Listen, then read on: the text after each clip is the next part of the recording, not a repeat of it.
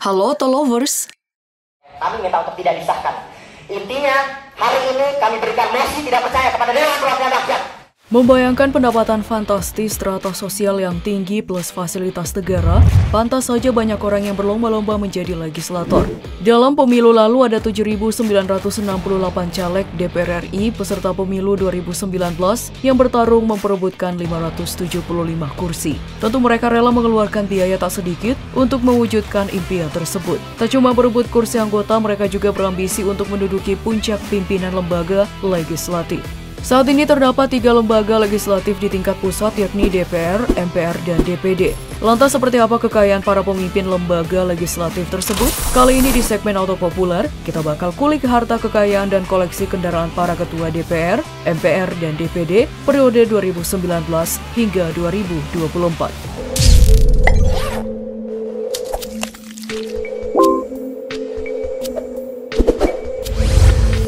Kita mulai dari Ketua MPR Bambang Susatyo. Politikus Partai Golkar ini lolos ke Senayan mewakili Dapil Jawa Tengah 7. Pria yang akrab disapa Bamsud itu menjabat Ketua MPR RI menggantikan Setia Novanto yang tersangkut kasus korupsi KTP.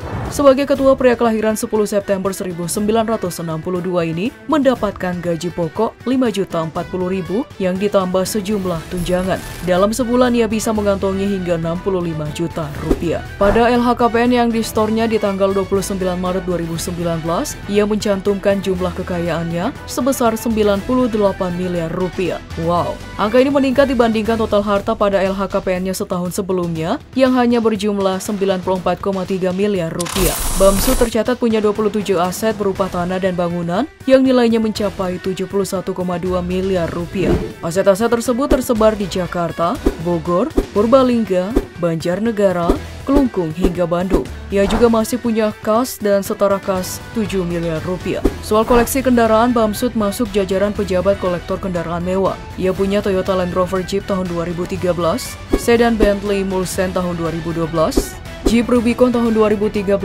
sedan Rolls-Royce Phantom, Toyota Fortuner tahun 2012, Mercedes-Benz S400, Hummer H2 tahun 2009, Tesla Model X tahun 2017, Lamborghini Gallardo dan Ferrari California. Mantan wartawan era 1985 ini juga merupakan pecinta motor gede. Ia mengoleksi Tree Glide Ultra Classic dan Road King Classic. Suami dari Leni Sri Mulyani juga sebenarnya masih punya Chevrolet Impala, Porsche Cayenne, Ferrari jenis 166 MM, mobil off-road modifikasi, koleksi moge lainnya, satu unit motor chopper dan satu unit motor listrik gesit buatan dalam negeri yang terparkir di rumahnya, namun tidak dimasukkan dalam LHKPN-nya. Rumah Bamsud sendiri berada di daerah Duren Sawit, Jakarta Timur. Rumah bercat coklat ini memiliki ruangan keluarga dengan fasilitas entertainment lengkap. Soal gaya hidup, anggota perbakin ini juga gemar traveling bersama keluarga besarnya, seperti ke Maroko, Spanyol, dan Jepang. Bahkan tak jarang ia menyewa jet pribadi untuk liburan bersama keluarga. Bamsud juga hobi memelihara merak langka di rumahnya yang ada di puncak Bogor. Dalam kesehariannya, ia juga melengkapi dirinya dengan jam tangan mewah Richard Mille seri RM 2702 yang harganya mencapai 11 miliar rupiah.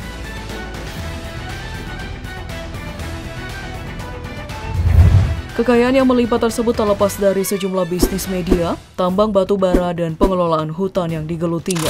Ia merupakan komisaris PT Suara Irama Indah, Direktur PT Suara Rakyat Membangun, perusahaan yang menaungi Koran Suara Rakyat, Direktur Independen PT Sima, TBK, dan Direktur Kodeco Timber. dengan mendapatkan kepentingan bangsa dan negara. ulangi serta Lalu kita berpindah kepada Puan Maharani, Ketua DPR Perempuan yang pertama, generasi ketiga terah Soekarno tersebut lulus ke Senayan melalui Dapil Jawa Tengah 5. Sesuai ketentuan, tiap bulannya ibu dua anak ini menerima gaji pokok sebesar Rp5.040.000 ditambah sejumlah tunjangan. Jika di total ia menerima gaji 80 jutaan rupiah per bulannya, plus mobil dinas Toyota Crown 2.5 Hybrid Vehicle G Eksekutif seharga 1,5 miliar rupiah. Pendapatan ini terbilang jauh lebih kecil jika dibandingkan dengan harta kekayaan miliknya. Dalam laporan harta kekayaan penyelenggara negara atau LHKPN-nya pada tanggal 30 Maret 2019, Puan melaporkan hartanya sebesar 363,7 miliar rupiah, naik 61 miliar rupiah dari setahun sebelumnya. LHKPN-nya hanya 302,7 miliar rupiah. Harta perempuan kelahiran 6 September 1973 ini didominasi surat berharga dengan taksiran nilai sebesar 208,5 miliar rupiah. Nah dengan harta segunung itu untuk beli mobil si kecil ya, apalagi mantan menteri ini ternyata punya selera terhadap mobil klasik. Di garasinya sendiri ada sedan Mercedes-Benz 280S keluaran 1969, Mercedes-Benz 230i tahun 1976, Mercedes-Benz 280 tahun 1982, Volkswagen Carman Gia keluaran tahun 1961, VW Beetle 2.0 MT tahun 2000, Toyota Land Cruiser V8 tahun 2008, hingga Daihatsu Taruna tahun 2002. Di samping mobil klasik, Puan juga doyan sama motor gede, ia bahkan punya tiga unit Harley Davidson yang dibelinya pada tahun 2002 dan 2003 lalu. Wah wah, asli sultan ya. Koleksi segitu sih nggak seberapa bagi Puan yang punya tanah dan bangunan sebanyak 74 aset dengan nilai 148,8 miliar rupiah yang tersebar di Jakarta, Gianyar, Denpasar, Tabanan, Bogor, Klungkung, Badung hingga Depok ini. Selain itu ia juga punya kas dan setara kas senilai 49,5 miliar rupiah. Harta yang sangat melimpah ini bersumber dari gurita bisnisnya. Dikutip dari Tempo.com, enam perusahaannya mencatatkan namanya sebagai pemilik, yakni PT Plan Management, PT Brahma Dirgajaya Asri, PT Sirk Pangan, PT Magen Rasyatra Pratama, PT Shilpa dan PT Samaro Inti Usaha. Tak cuma itu bersama sang suami Hapsoro Sukmono Hadi alias Happy Hapsoro, Puan juga punya perusahaan transportasi gas bernama PT Rukun Raharja dan membangun kondominium mewah bernama Blossom Residence di Kemayoran, Jakarta Pusat. Untuk bisnis di sektor pariwisata, ternyata Puan dan suaminya juga mengelola perusahaan operator hotel jaringan Red Planet. Wah, baru tahu ya.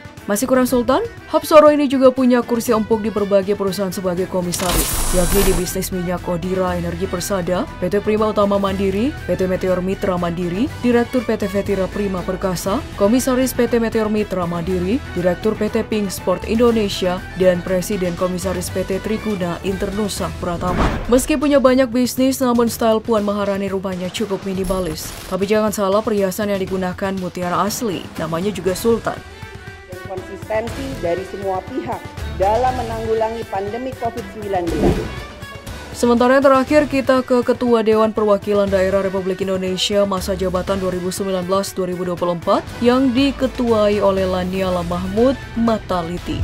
Pria kelahiran 10 Mei 1959 ini terpilih setelah melalui mekanisme voting. Mantan Ketua Umum PSSI ini sukses melenggang ke Senayan melalui jalur DPD wilayah Jatim. Sebagai ketua, Lanyala tiap bulannya berhak menerima gaji dan tunjangan sekitar 62,8 juta rupiah. Sebelum terjun ke politik, Lanyala ini merupakan penguasa tulen di Jatim. Dirinya lah yang merintis Surabaya Expo tahun 1989 melalui PT Autamaras. Ia juga mendirikan beberapa perusahaan seperti PT Erlangga Taman Nusantara Sakti, PT Pelabuhan Jatim 1, dan PT Erlangga Media Cakra Nusantara. Rata-rata perusahaan ini bergerak di industri kreatif, konstruksi, hingga perjalanan ibadah. Dalam LHKPN yang di store-nya 8 April 2019, Lanyala mencatatkan hartanya sebesar 14,2 miliar rupiah. Lanyala ini juga memiliki 8 aset berupa tanah dan bangunan yang nilainya itu ditaksir mencapai 11,4 miliar rupiah. Aset-aset tersebut tersebar di Surabaya, Batu, hingga Jakarta. Sementara untuk kepemilikan alat transportasi, ia cuma melaporkan satu unit motor Supra Fit tahun 2012 dan sebuah mobil Toyota Alphard tipe G tahun 2012. Meskipun saat melaporkan hal ini banyak pihak yang mempermasalahkan kesalahan penulisan jenis mobil. Di luar daftar LHKPN, pria yang hobi bermain golf ini sempat menjadikan Mercedes-Benz C200 MT sebagai mobil kampanye. Ia pun juga pernah memposting diri sedang mengendarai Vespa klasik. Wah, lucu juga ya Vespanya. Lanyala juga gemar mengoleksi jam tangan mewah Salah satunya adalah Richard Mille RM3901 seharga 1,8 miliar rupiah. Dalam laporan itu juga ia memiliki 1 miliar rupiah lebih harta berupa kas dan setara kas. Suami dari Mac muda ini juga memiliki sebuah rumah mewah di Surabaya, tepatnya di Kompleks Perumahan Wisma Permai Barat. Rumah berlantai dua itu ditaksir nilainya 5 miliaran rupiah. Juga harus diwujudkan dalam mendukung hubungan antara, antara Nah itulah tadi sejumlah harta dan koleksi kendaraan para pemimpin legislatif tingkat pusat. Untuk pejabat-pejabat negara dengan posisi seperti ini, gaji dan tunjangannya haruslah berbanding lurus dengan kinerjanya untuk rakyat. Setuju? Nah jika kamu mengetahui harta atau koleksi kendaraan mewah lainnya, silahkan tuliskan di kolom komentar. Sebelum ulasan ini berakhir, jangan lupa untuk like, share, dan subscribe. Sampai jumpa di ulasan menarik lainnya dari Auto Populer.